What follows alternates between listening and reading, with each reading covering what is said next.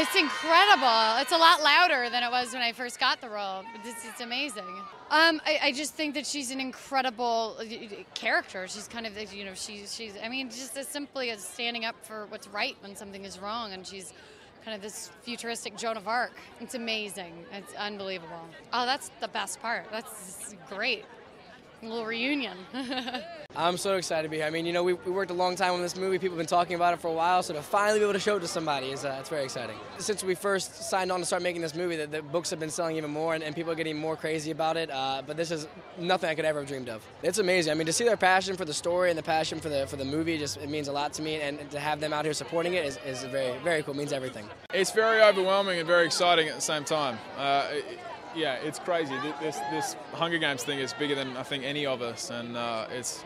I feel very fortunate to be a part of it. When you have fans that are this passionate about something and, and they're, they're that excited to meet you, uh, I'm, I'm just as excited to meet them. It's, it's, I feel so fortunate to be a part of it. It's, it's very, very crazy to be a part of this whole thing and, and, and meet so many extremely passionate fans. It's, it's, it's great. I'm kind of pinching myself every day and feeling very, very fortunate to be where I am and be a part of a project like this. So. I've never seen the, the film in a, with a group of people, so I think that the uh, I'm expecting the energy in the theater to just be like ballistically bananas, and uh, you know I'm really excited to just feel how people are responding to the movie.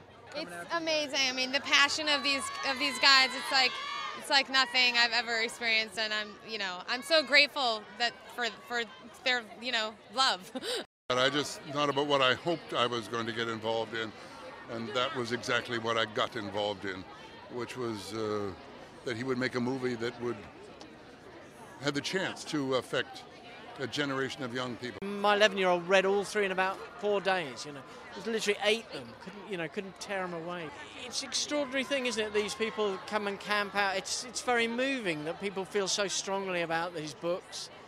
Uh, it's hard not to feel, you know, slightly unworthy because because you know I, am very honoured that they've come out to, to, to, you know to back our film. For me, right now, I'm just kind of taking it all in. I, I still can't really believe that it's happening, and um, I'm just very excited for everyone else here, and so happy and lucky to be here. These fans are amazing, and it's so surreal because I was such a huge fan before I even knew there was going to be a movie.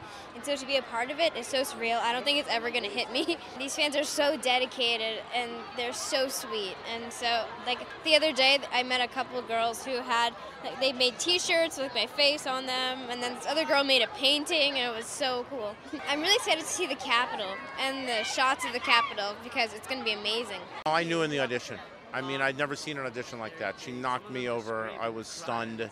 You know, I, I, I, I it, it kind of ripped my guts out.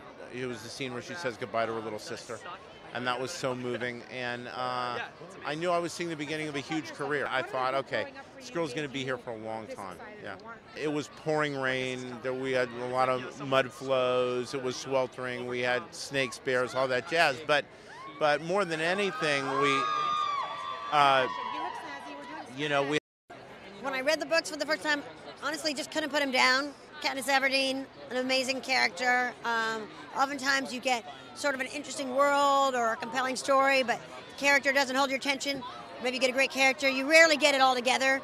This book the character of Katniss Everdeen is as compelling as any character you'll ever come across. You know what? I'm excited for people to see that we love the books as much as they do. Uh, hi, I'm Jack Quaid, and I play Marvel in The Hunger Games. My wildest imaginations could not have prepared me for this. This is crazy, but I, I love it, and I'm so glad that everyone came out to support the film. It, it's great. I mean, I, I, knew this book had such a wide fan base, but then to, to see everybody come out and support it, it's, it's surreal. It's great.